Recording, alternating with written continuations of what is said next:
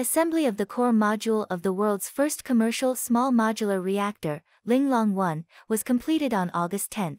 This marks the peak of the installation process of Linglong 1, representing a historic step in the miniaturization of global nuclear energy and confirming that China is at the forefront globally in terms of modular SMR construction. After completion, it is expected to achieve an annual power generation capacity of 1 billion kilowatt-hours, which would meet the needs of about 526,000 households. It is expected to reduce carbon dioxide emissions by about 880,000 tons per year, equivalent to planting 7.5 million trees a year.